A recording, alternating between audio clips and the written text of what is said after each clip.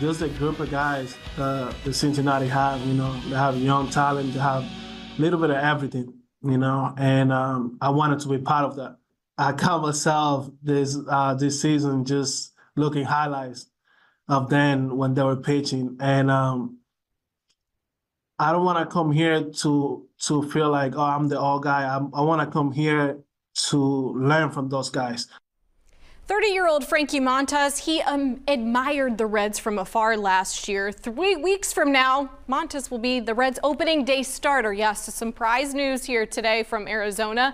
The first time he will throw a ball in a Reds uniform will be on the first day of baseball season here in Cincinnati. The 2021 Cy Young candidate's experienced resume earns him the nod over Reds ace Hunter Greene. Manager David Bell surprising some of us with that news on Sunday, adding that Greene, he will go on day two of the season.